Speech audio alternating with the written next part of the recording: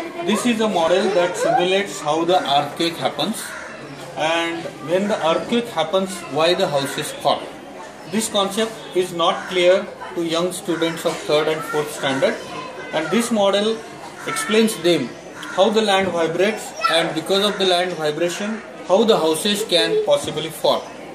I'll just start this and uh, induce the vibrations uh, from this model.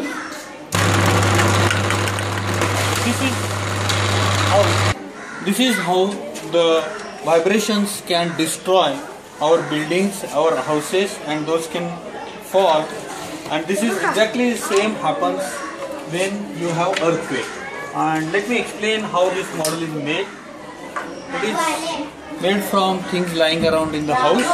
This is a discarded slate that kids used to write in the initial learning.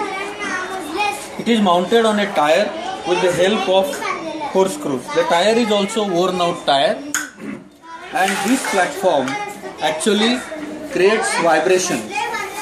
How it is created is using the massage machine that you can find in many of the hair cutting saloon and those kind of shops and it's a discarded one in fact so this machine has uh, vibrations induced and it has a massaging shoe that is connected to this cardboard and this machine is suspended it is fixed to the cardboard but the tire is a flexible material so it retains the vibrations and because it has a unique shape and overhang we have used a rubber strip to support it and hold it in the position.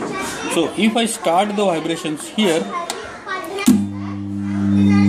this is how the vibrations are induced on the surface. But overall mechanism is still stable. And let me show you how how the vibrations uh, are transferred once again.